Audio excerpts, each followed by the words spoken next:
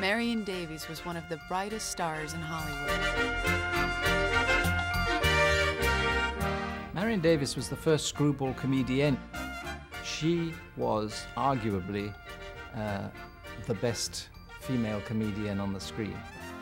Yet today, Marion Davies is remembered for a lifelong love affair, while her professional reputation is based on a film in which she never appeared. Orson Welles' masterpiece, Citizen Kane, modeled on the life of William Randolph Hearst, painted a portrait of Marion Davies that the world believes true. Kane's mistress, Susan Alexander, is a gold digger and a drunk, a woman with no talent and no mind of her own. Citizen Kane contains an extraordinary performance, but it obscures the superb talent of the real person, has created a new myth, and justice must be done.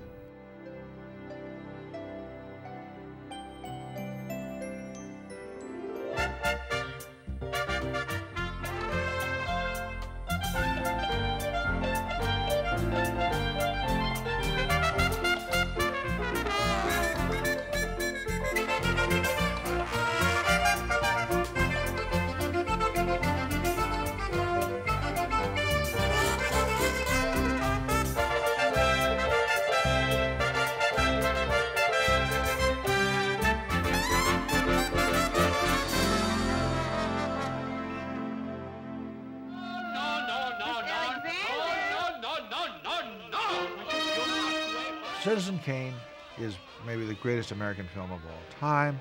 As far as Marion Davies concerned, of course, identified with with Hearst as Hearst is thought to be identical with Kane. Marion Davies is not Susan Alexander. The difference was that Susan Alexander had no talent. Marion Davies had a lot of talent. She may have been hurt as much as she was helped by Hearst, which is the final irony of Marion Davies' life.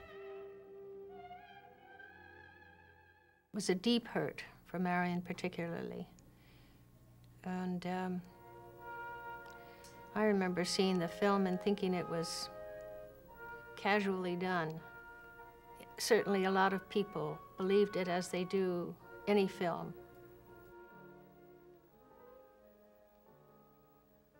It didn't have much to do with the truth. Rather you just talked.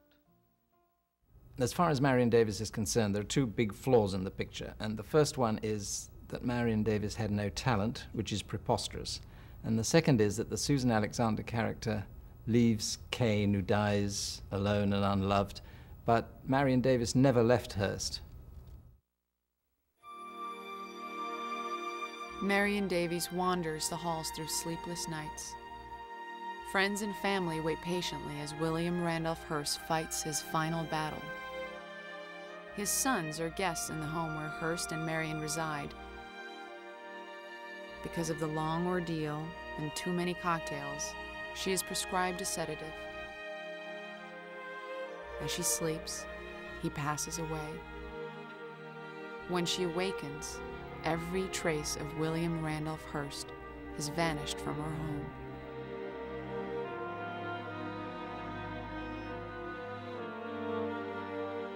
I didn't want to be Mrs. William Randolph Hearst. I wanted to be Marion Davies. Difference does it make if you walk up to the altar and I say to you, I'm now man and wife, does that make love any more potent? Love comes from the heart. Marion Cecilia Douras was born in Brooklyn on January 3, 1897, the fifth and last child of Mama Rose and Ben Douras. Stern yet protective, Rose taught her girls to look for older, wealthy suitors to ensure their financial stability while avoiding the trap of romantic love, which she believed would inevitably fade. In Mama Rose's view, show business was the best way to find a rich man, so the Douras girls took to the stage early on. In the summer of 1914, at age 17, Marion made her debut on Broadway in the musical review Chin Chin. Though her shy stammer made her an unlikely candidate for speaking parts, She quickly became a successful dancer in several featured roles. Marion's warmth and quick wit made her a favorite among her peers. One of the first pictures I found of her, she was probably about 16 years old, and I thought that we looked alike. So I sort of fiercely went on this quest um, to do my research. And in the end, I discovered this amazing woman. And I sort of fell in love with her in a way. And I thought, gosh, I wish I would have known her. Before long, Marion had a number of older admirers crowding her stage door. Standing in the back of this group, quiet but ever present, was multi-millionaire publisher William Randolph Hearst.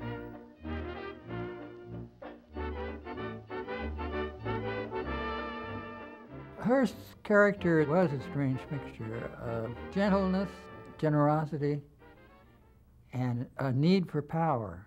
He was a man of many parts and a complex man.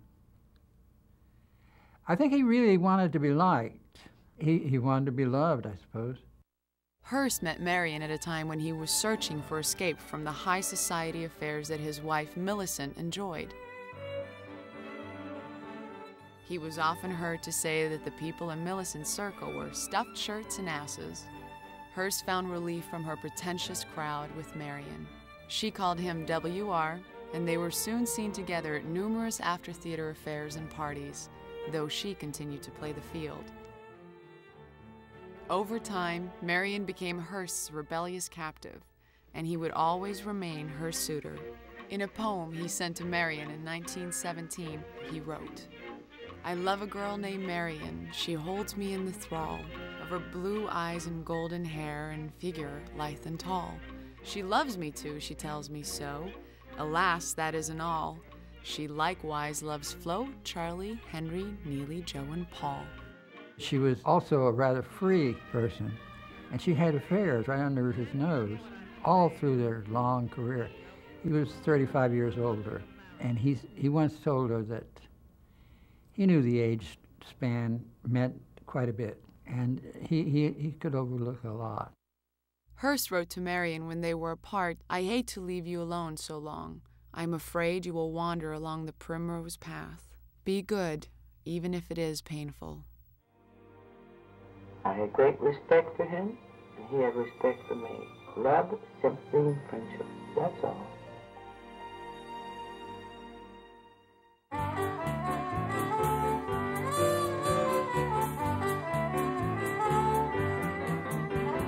You're just as sweet as an angel. I'm happy when you are near. I couldn't do without you, really, dear. I am sincere, angel child. I'm just wild about you, angel child. Say that you love me too. In your arms forever I'll stay. You drive away shadows of gray when you smile. Heaven. William Randolph Hearst was never a man to admit to limitations. Though his political views made him a favorite whipping boy of the liberal press, he successfully built the most powerful media empire of the day. Besides having the largest newspaper and magazine publishing chain in the nation, Hearst had been producing films since 1913. Marion had also begun working in film, providing the story and starring in the 1917 production Runaway Romany. She thought the results embarrassing, but Hearst demanded a screening. Impressed with the potential he saw, he told Marion that he would make her a star. I think she has been wrongfully depicted as a kind of whore because she did accept his money. But I think uh, if there's love involved in such a relationship, that takes away that stigma. Hearst found a way to spend time close to Marion's side by making her head of production of his company in New York, Cosmopolitan Pictures.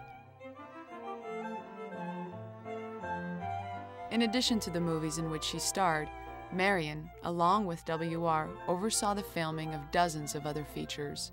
He made it understood that his friend was no glorified chorus girl. She was a gifted actress and a savvy businesswoman.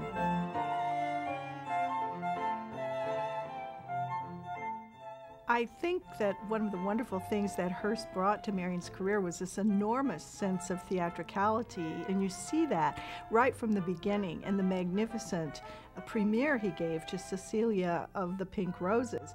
He had thousands and thousands of pink roses put around the movie screen, as a bower in a kind of setting, and then the odor from those roses wafted out into the audience during the screening. I mean, imagine the glamour of that and the sense that the audience would have of this is a special movie, this is a special woman. With his attention to detail, Hearst's 1922 production of When Knighthood Was in Flower was the first million dollar picture to make a profit. This was at a time when most features cost less than one tenth of that to produce.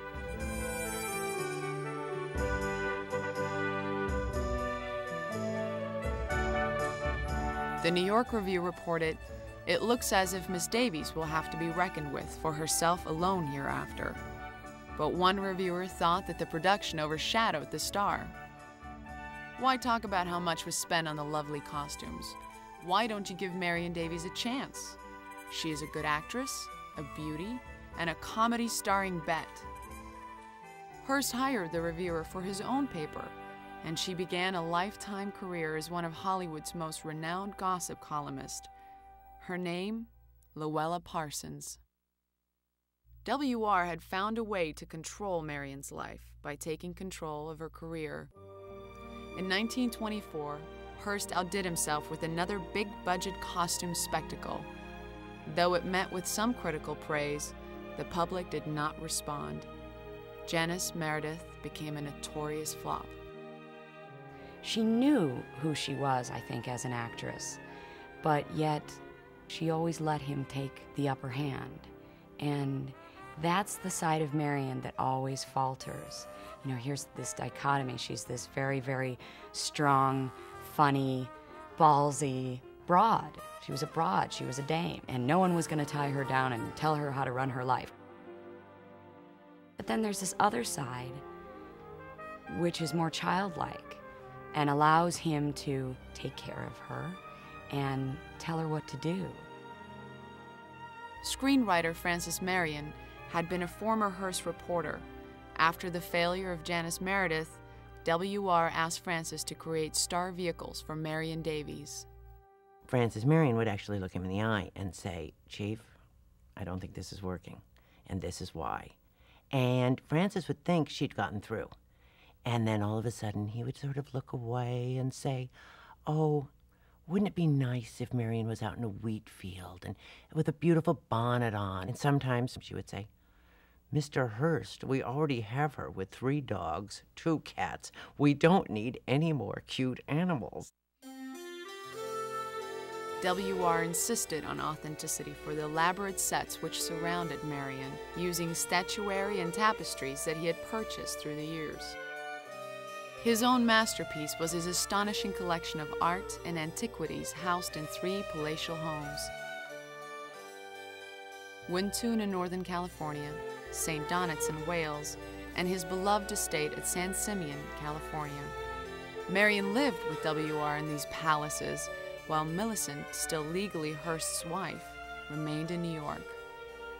250 miles north of Los Angeles, the ranch at San Simeon became one of the most famous homes in America, known as Hearst Castle. The leading lights of journalism, literature, politics, and the movies all came to the castle where W.R. held court.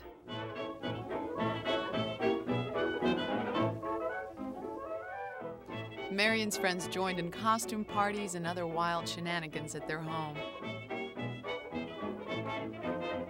These private home movies feature a fascinating cast who clown it up for the camera. Hearst could always count on Marion to bring fun and merriment to the castle.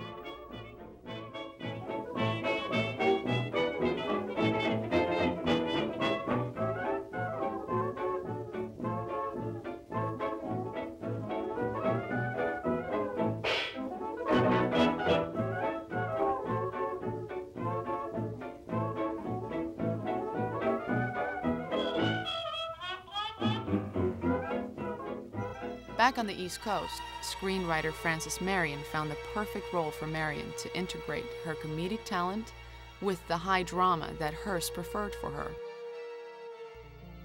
The story of little old New York follows an Irish girl, Pat O'Day, who travels to America.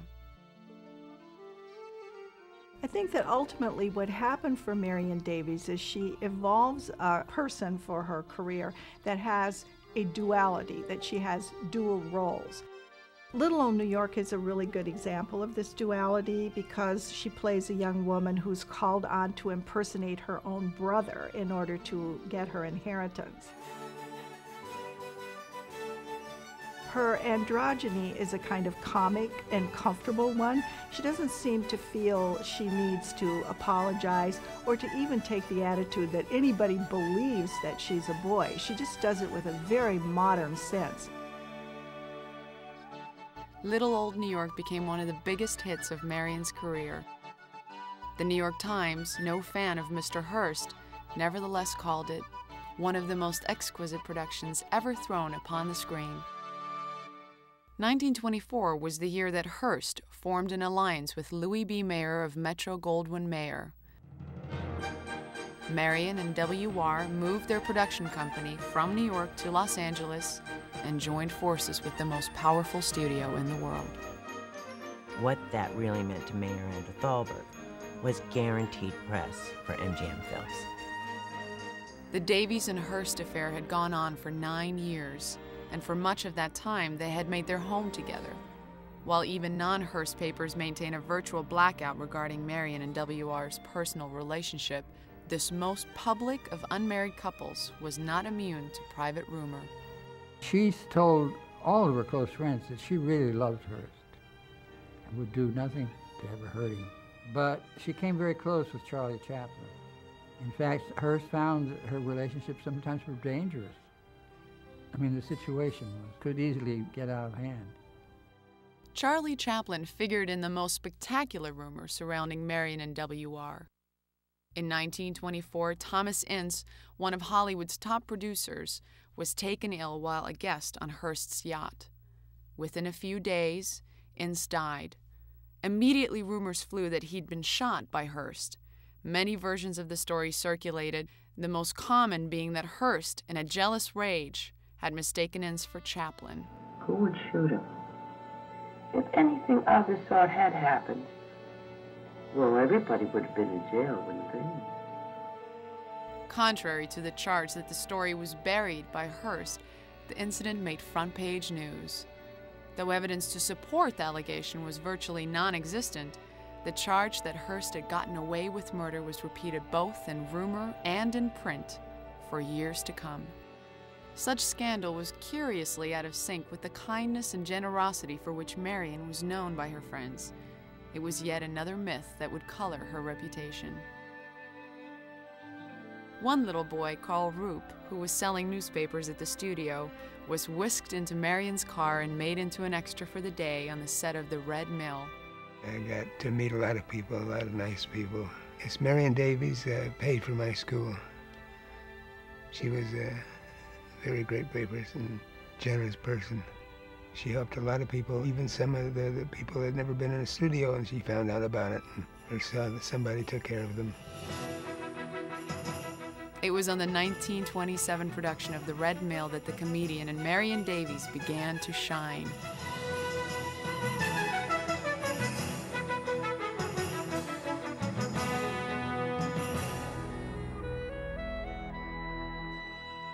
The same year, in Quality Street, Marion triumphed in the sort of period drama that was so close to W.R.'s heart.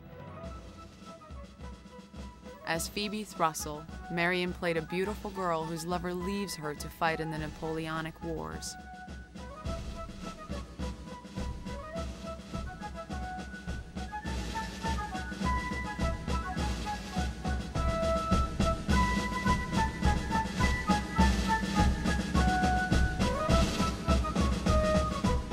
In Quality Street, she takes on a dual role that really gives her more acting range than she had primarily had before.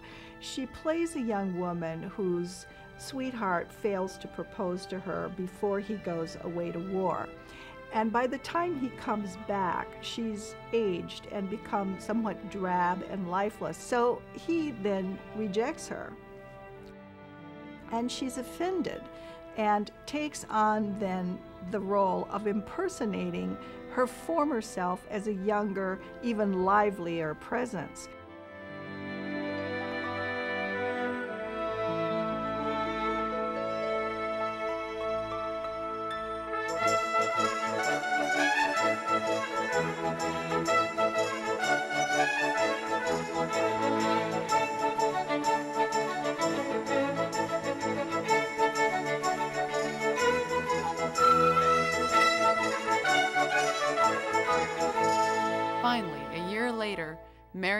Broke the mold of the costume dramas in which W.R. had confined her.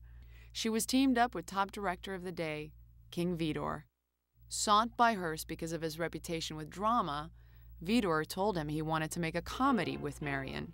Hearst relented, and the result was a fresh kind of character never before seen on the screen the screwball heroine.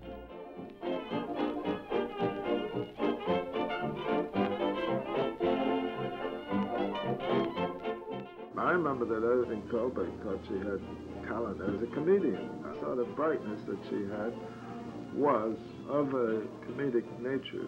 Marion had a wicked sense of humor. She is scintillating on the screen. She could be regarded as the first screwball comedian. And she's certainly long before Carole Lombard created that role in the talkies. The screwball comedian in film is relentless in the pursuit of her man, but as dizzy as she appears, she turns out to be a lot wiser than she lets on.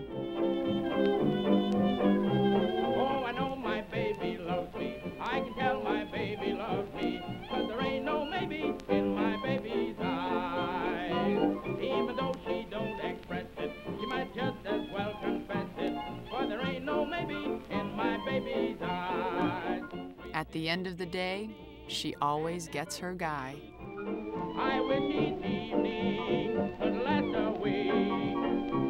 Cause I know my baby loves me. I can tell my baby loves me. Cause there ain't no maybe in my baby's eyes.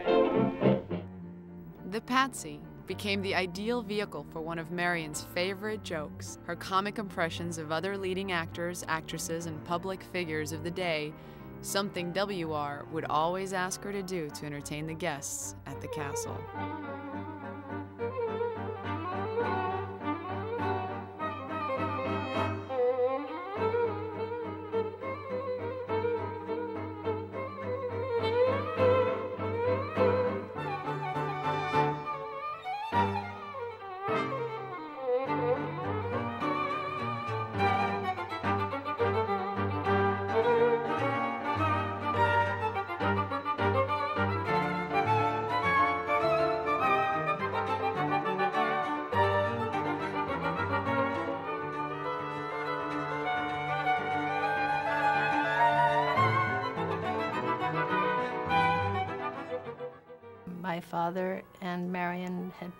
Very good friends, and he admired her vivacity, her expressions, her energy.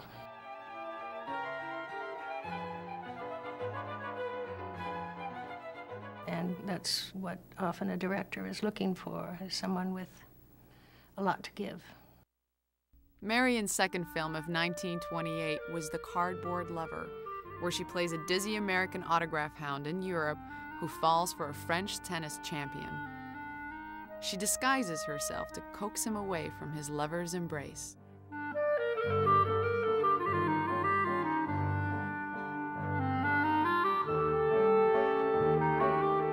As in earlier films, Marion took every opportunity for comic imitation, this time of her exotic co star, Jetta Goudal.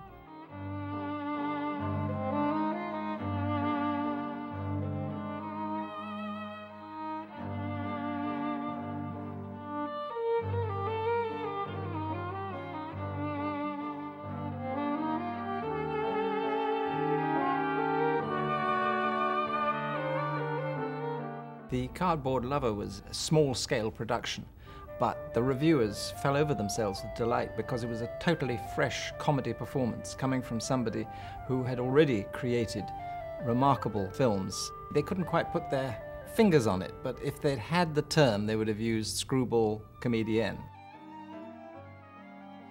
When you have a remarkably beautiful woman who is very funny, that is so rare as to be um, irresistible.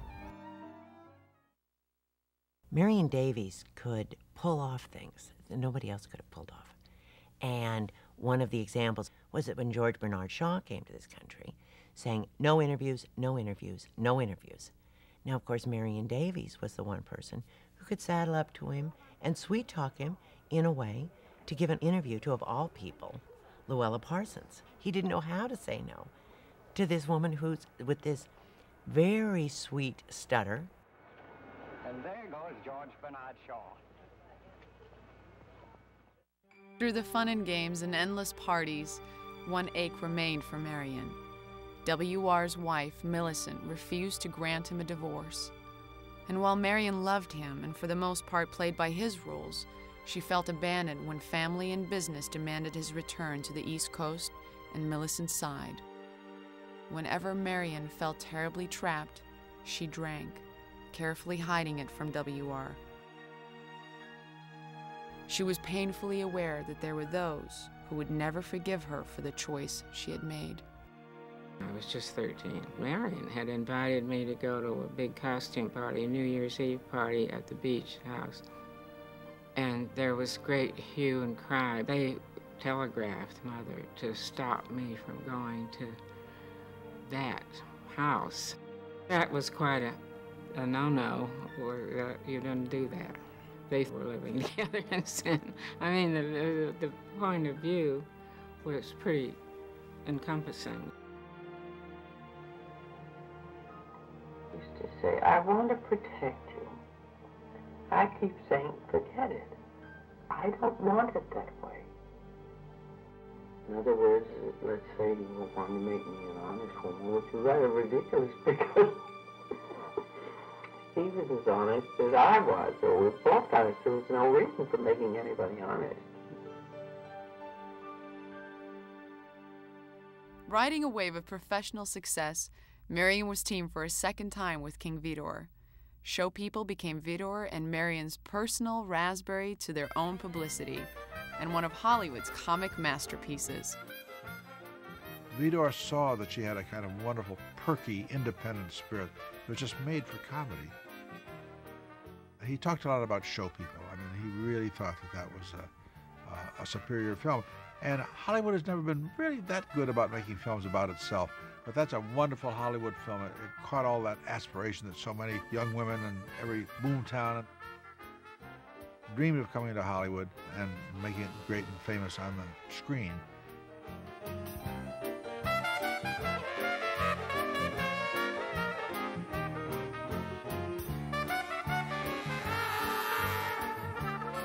We originally had Marion and Gloria Swanson had hit in the face with a car, and this was a big stumbling block. Uh, Mr. Hearst would not go for this with Marion. Hearst said quite defiantly, It doesn't take any beauty to get a pie in the face. Hearst didn't want people laughing at her.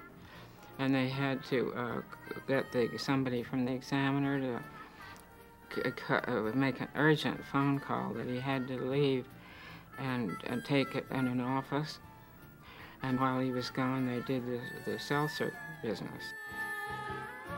Show People was my favorite of all the pictures my father's ever made. When I was doing interviews over here, I kept hearing about this extraordinary work of Marion Davies. As technicians fell ill, she anonymously paid for their operations. She was a very generous and kind-hearted person. Frances Marion would start to resent some of the other young friends of Marion Davies because she saw that Marion and Mr. Hearst were being used. People could go to her with any problem, no matter or anything they might have done that was wrong or something. She was always tolerant and understanding and ready to help that person. Tennessee Williams said Marion Davies makes up for the rest of Hollywood. And that says it all.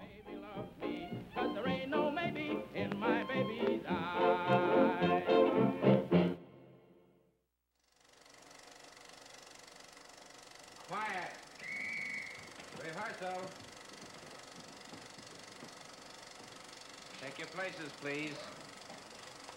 Come on.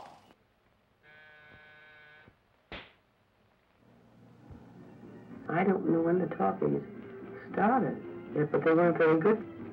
And uh, I was not only appalled at the idea, but I thought I didn't want to go back. I thought I'd like to jump off the boat or any place where the earth would open up because I, I thought I cannot do sound pictures. So I stalled before I finally ride home. After 12 months' delay, Marion took on the sound cameras in 1929. In her first talkie, Marianne, she plays a French girl who must impersonate a military officer. To get back to that story, you know? Gee, you young officers are soft. Don't you take no exercise? Sure. Ah, but you don't take enough. Look at me. Look at that bunch of fives. Get a load at of... this. Yeah, get a load of this. Get a load of this. Get a load of this. Mm, Get a load of... One of the things that you note about Marion Davies in her sound work is how good she is at doing accents. So her ability to mimic was total. It was physical head to toe, it was facial gestures, but it was also voice. She clearly had an excellent ear. They tried to do that a lot in the early sound era, and she was one of the few that could really master it effectively, and that's something she has not been given credit for. Do I love mon baby? Does he love his chérie? What can the answer be? Oh la la la la. On screen, in talkies, she has a lovely speaking voice. Absolutely. It's one of the things that endeared many of her fans. The very thing she feared most was one of her greatest assets.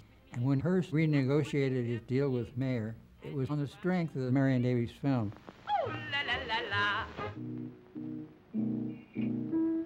Her second talking feature gave her the opportunity to work a third and final time with director King Vidor.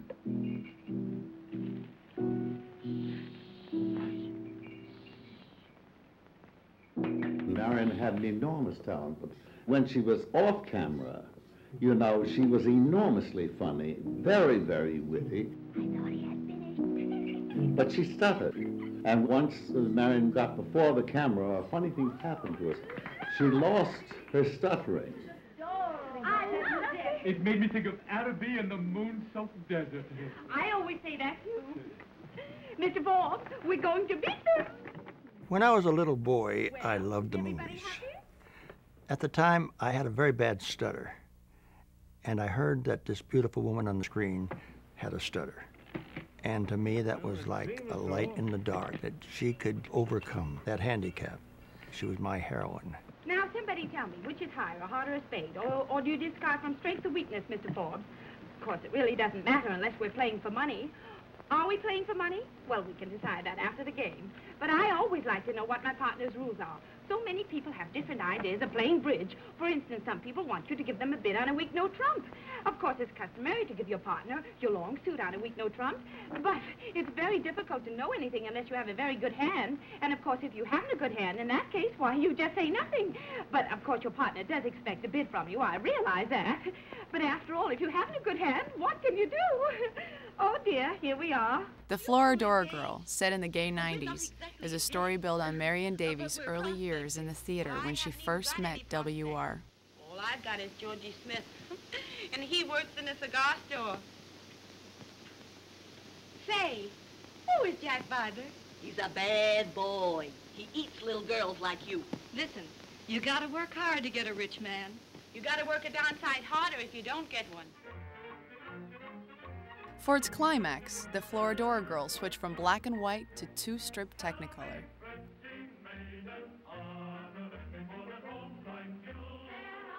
As always, Hearst made certain that Cosmopolitan Pictures were among the most elaborate of MGM's releases. Marion was accustomed to entertaining top dignitaries and celebrities on her sets.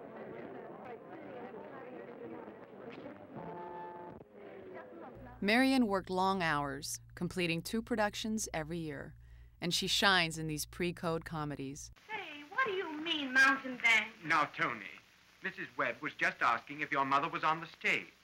Yeah? Well, you can tell Mrs. Webb that my mother was on the stage and that she was a headliner. And you can also tell Mrs. Webb that if she makes any more cracks about my mother, I'll start something that'll take the snap out of her garters. Oh, Marion's impersonations only benefited from the new dimension of sound. She deftly parodies Garbo. Because I'm a CAD. cad. How tired you are. Yes, I am tired. So tired. Marion's film career began to keep her from WR, as he spent more time working alone at San Simeon. She had affairs with her leading men, falling in and out of love as quickly as she fell in and out of character. Want me to go now? WR wrote to her from a business trip. I wish I knew what you were doing in Los Angeles, but I guess it's just as well I don't. Sure. The temptations, I suppose, are very great. on your finger. Ultimately, her loyalty would always remain with WR. Hearst may have relented for the comedies, but he had not forgotten his desire to find a truly noble role for Marion. He was certain he had it in the first sound production of Peg o' My Heart, a classic from the stage. The role of Peg called for a much younger actress, but Marion took command of the part with her elfish charm and her talent for mastering dialects. In this case, I beg your an pardon? Irish brogue. Are you Mr. Chichester? I am not. Mr. Chichester is dead. Oh, I'm not sorry now. And what did he die of? Pneumonia. It became Hearst's favorite of all her features. Oh, that's terrible. Oh, pneumonia. I'm pleased to meet you, Mr. Jarvis. He believed it deserved the highest recognition. Me own name now is Peg. As a result, he campaigned forcefully, though unsuccessfully, to win her an Academy Award. What's that you're saying? That mother gets 5,000 pounds a year for your education. Oh, so you got paid for abusing me. In spite of his power and influence, Hearst was powerless to help Marion gain the recognition that she deserved. Do you think you'll be happy in Ireland? Sure, I'll be happy. I'll be doing a little fishing belike. And I'll be planting potatoes in the garden. Well, there's all sorts of work to be done that I'm knowing how to do. And there's people that I'm liking. Michael will be with me. Only one thing will be missing. In the press, Hearst's enemies attacked him as an all controlling media baron and assailed the powerful columnist who had become his eyes and ears in Hollywood. Louella Parsons is Hearst's Hollywood stooge, said the journal New Theater. Louella's chief function is to ballyhoo Marion Davies, the blonde girlfriend of her boss. Winsome Marion Davies, who knows how to bring out the best in her co stars without losing any of her own appeal, is my idea of an unselfish actress. She lives and lets live. I truly look forward to seeing her in Page Miss Glory. Signed Harold Riddle, 808 Walnut Street, Fulton, Kentucky. I got a card in the mail and it said something like this You may think that Marion Davies is the greatest star in the world, or you may admire her very much, but did you know she's the common law wife of William Randolph Hearst? In 1933, Marion starred in the musical Going Hollywood with Bing Crosby. The two of them clowned incessantly and drank heavily on and off the set. I discovered that there was a real sadness in Marion. Maybe, maybe not sadness, but maybe more melancholy, just a tinge. She was known to drink too much, and sometimes I think she liked it because it bothered her so much. The next year, Marion starred with Gary Cooper in Operator 13, a story about spies in the Civil War.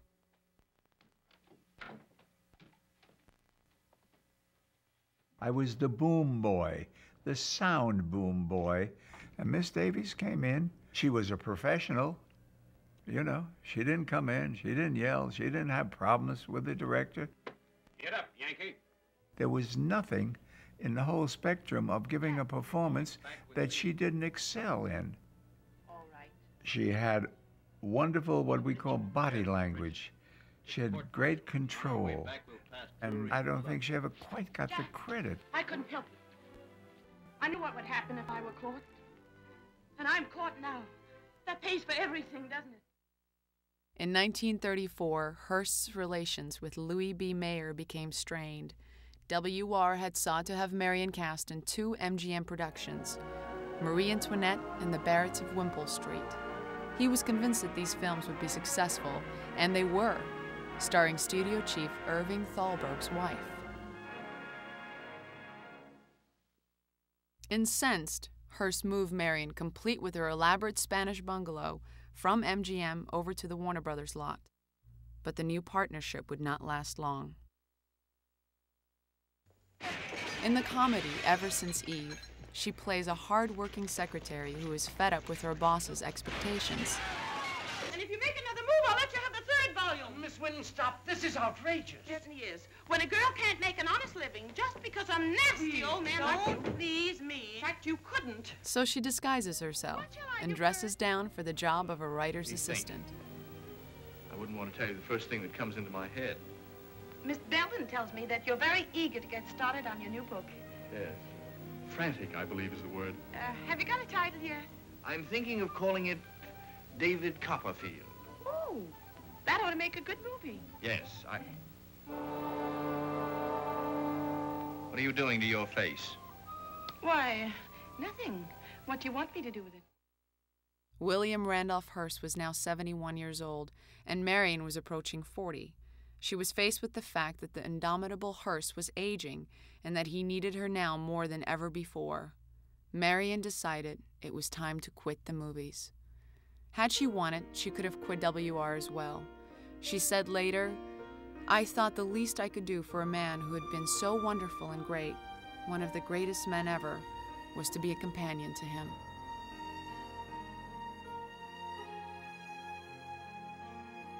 When they weren't entertaining at Hearst Castle or at Marion's beach house, W.R. and Marion traveled around Europe, always bringing along an entourage of friends and family. Hearst's rich lifestyle seemed limitless, but his spending was out of control. By the late 30s, Marion discovered that W.R.'s fortune had been seriously damaged, even as hers had prospered. So she sat down and wrote out a check to William Randolph Hearst for $1 million. Marion Davies saved the Hearst Empire at one critical point when his notes had been called in by the banks. I think it was a conspiracy. They all got together and said, let's give him, give it to him. She sold her real estate property and pulled a million dollars together in almost a day. Then suddenly it turned out that that wasn't going to do it. She never ostentatiously uh, wore jewelry, so she picked up all the gold and diamonds and carried them into his room. And uh, she dumped it under his nose and said, What will this bring? What do you think this will bring? A friend later heard her say, They weren't smart. They didn't figure on me at all. They thought I was a nonentity, a dullard, a stupid who sits in the corner with a dunce cap. Hearst realized that Marion Davies was the only person who was there to help him.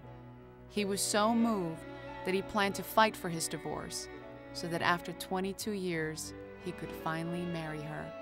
Hearst was so grateful to Marion for what she did. He never forgot that. Harry Ruby, who was married to one of Marion's best friends, told me about the 40 some odd people were flown down to the Hearst Ranch in Mexico. And they had a priest who had agreed to marry them, and Hearst had negotiated for months with his wife's lawyers, and they were able to uh, work out a deal, it seemed. The priest was standing there when the, this call came through, and it was an insistence that Cosmopolitan be thrown into the hopper, and that was too much for Hearst. It was his favorite magazine. He would not give that up. So he packed everybody on the airplanes, he flew them back to Wyntoon in Northern California, and at that point, Marion disappeared for a couple of days, and it was on a binge that really never totally ceased.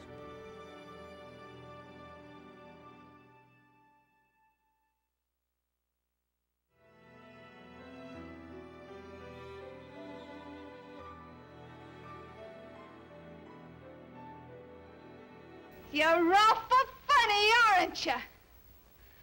Well, I can tell you one thing you're not going to keep on being funny about, and that's Well, it's sin. been said that Citizen Kane is a great allegory, but it's not necessarily accurate history. Well, that's true. Continue with your singing, Susan. A mentor is, is trying to create a career for Susan Alexander, as Hearst tried to shape a career for Marion Davies. What about me? I'm the one that's got to do the singing. By the time Kane was released, it had been four years since Marion's last film, and so she was easily confused with Susan Alexander. Hearst had taken his lumps in the public arena before, but when he saw Marion attacked in Orson Welles' film, it was more than he could stand. I'd rather you just talked The drinking made Hearst comment on the film. about yourself and Mr. Kane. It wouldn't want a lot of what comes into my mind about myself and Mr. Charlie Kane. He said they should never have brought in the drinking. I couldn't stand that on the screen. It was Marion he was worried about, not himself. He never gave a damn about what anybody said about him.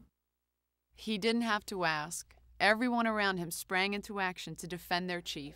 Listen, when the voters of this state and Mrs. Kane Gossip columnists Hedda Hopper and Louella Parsons were vicious in their denunciations. Louis B. Mayer, still an ally, offered to buy the negative from RKO for $800,000 and burn it. Emily, I hear you've been stepping out with Charlie Kane. The Hearst press didn't mention the film by name and pulled publicity for other RKO releases as well. I love him. He's the richest man in America. The things he said to me, he threatened Get me. his. And Orson always said, and I certainly didn't intend to portray her. That was not meant to be Marion Davies. You can't, Mr. Kane. Charles. He's always said, I, the only thing I regret about Citizen Kane is that Marion got the, the wrong end of the, the bill. She didn't deserve what the public felt about her. Rather than hide from the public, Marion decided to speak out in defense of a friend. Ingrid Bergman uh, became pregnant in Europe with Rossellini's child. She was married at the time. Marion had an article printed in the Hearst papers in defense of Bergman, who the whole world had turned against. She was nailed to the cross. Now, I have to stand up for principle. Ingrid Bergman is a great woman, and she's in love. If a woman of her great character has character enough to really go ahead with her love, why should she be criticized? This was typical of Marion Davies' eagerness to support and to help. Marion became her champion, really, and made it quite public that she felt that Ingrid should be judged on her goodness and not on an affair. By 1942, when Hearst turned 79, his love affair with Marion had lasted for 27 years. In private, the most famous unmarried couple in America lived happily, entertaining close friends and relatives at the castle. One member of the family who made the castle her home was Marion's niece, Pat Lake. Marion and Pat were very, very close. Pat told me that on her wedding day that Mr. Hearst told her that he was, in fact, her father. It was pretty, pretty common knowledge around town. They hoped it was true because she was Mrs. Hearst in every other way. I hope she had that to remember W.R. by. After the Second World War, it became clear that W.R.'s health was poor, and a permanent move closer to advanced medical facilities might be required. Her very last birthday, he was bedridden in the house in, in Beverly Hills, and Marion's gift to him was a painting that she had commissioned of her mother holding him as a little baby. And he started to burst into tears. And she was seated on the floor. He's seated in his wheelchair, and she just grabbed him by the knees. It was a most touching scene. Recalling those last few days with Hearst, She said later, I told him nobody dies nowadays, not with science. Let's do the Charleston. And so we danced down the hall. He used to laugh and he used to think I was crazy, but it did pep him up. On August 13, 1951, Marion Davies awoke to an empty house. There was no trace of William Randolph Hearst left in her home. I was driving to Paramount Studios, heard it on the radio, and went through every red light. I got there quickly enough to watch Hearst's body being removed and taken down to a small kind of laundry delivery truck. They attempted to make it appear that he had never really been with Marion in Beverly Hills. And Marion had been sedated. She was awakened late in the afternoon and rushed into his room and discovered that the place had been totally stripped of everything except one photograph of Marion Davies. She said to me, I had him for 32 years, and whoosh, he's gone. The family flew the body to San Francisco for a grand funeral. Marion had been abandoned. I loved that she called Hearst Pops because it just fit. I had this like I had this overwhelming sense that she that she probably had that just the grief that she must have gone through when he died and they tricked her out of his body. And she never got to say goodbye, Pops. She changed entirely. She was obviously drinking, and it was kind of a devil may care kind of attitude. And so, to heck with it. Ten weeks later, Marion Davies became Mrs. Horace Brown. I think it's ironic that Marion's legitimate relationship with Horace Brown, which was an unhappy relationship, was considered the right thing to do, whereas for 35 years she'd had such a marvelous love affair with W.R. Although Brown, a longtime acquaintance, bore an uncanny resemblance to Hearst, they had nothing else in common. W.R. had hated Marion's problem with alcohol, and he had done everything he could to try to protect her. Horace Brown, on the other hand, encouraged Marion's drinking. She no longer had to hide her affliction. Marion's beloved Ocean House was sold in May 1957 and was torn down to make way for a parking lot. Over the next decade, the genuine successes of her movie career were forgotten. Critics who had grown up without Marion Davies films, but with the shadow of Citizen Kane's Susan Alexander, claimed that Marion was a weak actress, that her sound career had been destroyed by her stuttering, and that she had been Hearst's puppet all along. The Marion Davies that millions had known from the screen was slowly being erased from public memory. Who used to come to San Simeon in those old days? Well, Pop used to conduct his business up there, so there'd be a lot of executives. But along with them, there'd be people like, oh, Winston Churchill and George Bernard Shaw, presidents like Coolidge and Hoover, and other friends like Mary Pickford, Harold Lloyd, Louis B. Mayer, Louella Parsons. There might be as many as 40 guests at once. One important name is never mentioned. I met Marion Davies in 1951. She was having a party for orphan children at the Mocambo nightclub. She was exactly what I had hoped she would be.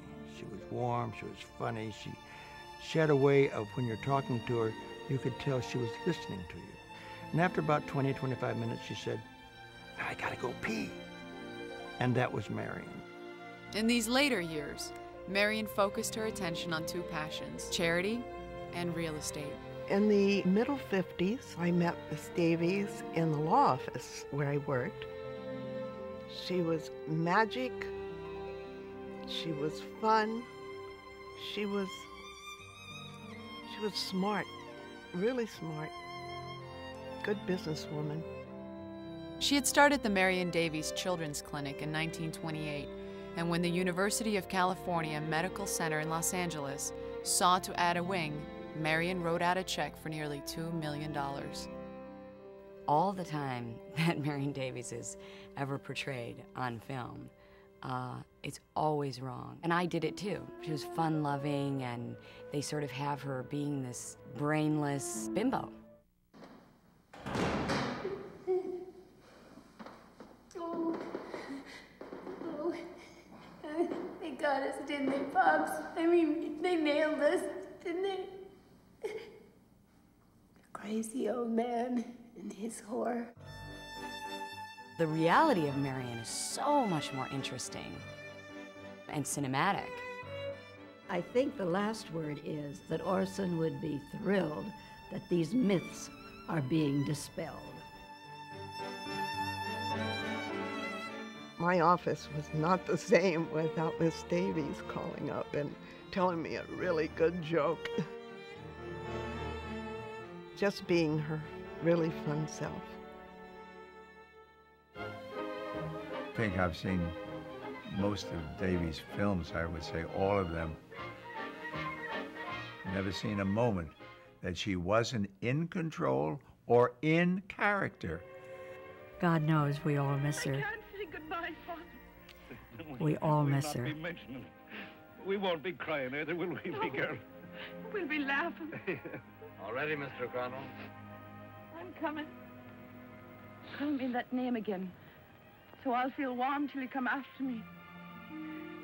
Call me your name for me. Take me heart. Marion Davies succumbed to cancer in 1961 at the age of 64. After many years and after much work by preservationists, Marion's films can finally begin to speak for themselves. I remember when we were talking about show people after we'd seen it, Vidor turned to me and said, She was really good, wasn't she? And I think that, that summed it all up. I mean, she really was good.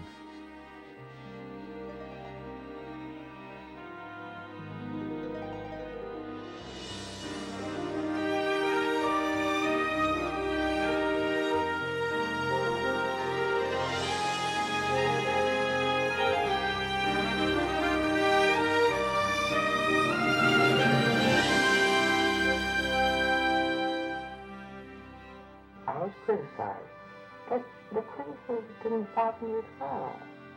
He's always trying his best to do everything to to to help me to be what he wanted me to be. I'm the captain of my soul. Therefore, what I want to do, I want to do myself, regardless of what people think that I should do. I think he liked me.